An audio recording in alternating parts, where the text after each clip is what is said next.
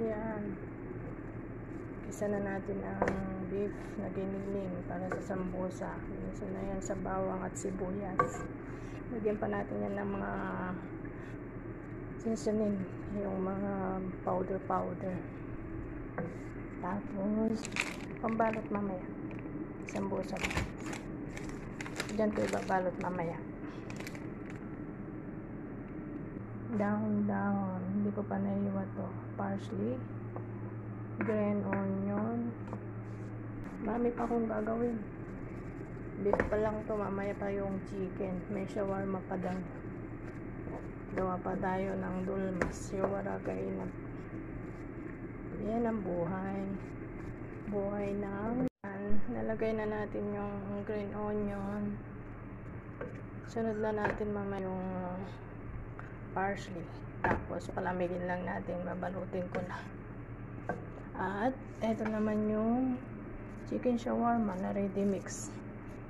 Ilulot, igigisa. Parang igigisa na lang din. Tapos, palamigin ko. Tapos, i-blender ko para maging maliit sila.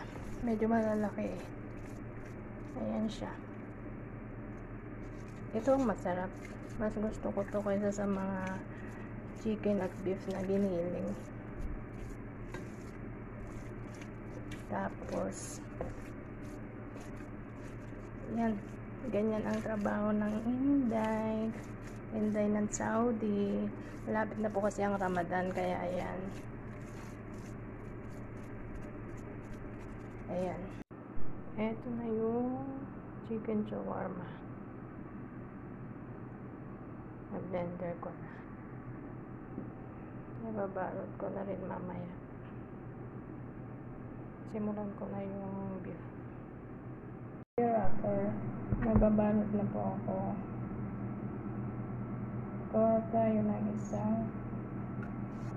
Ayan. I-shape po natin ng triangle.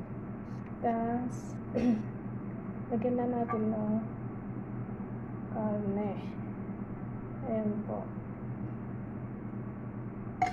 Tapos, ganun natin hanggang magsara. Sara na natin. Ito na po.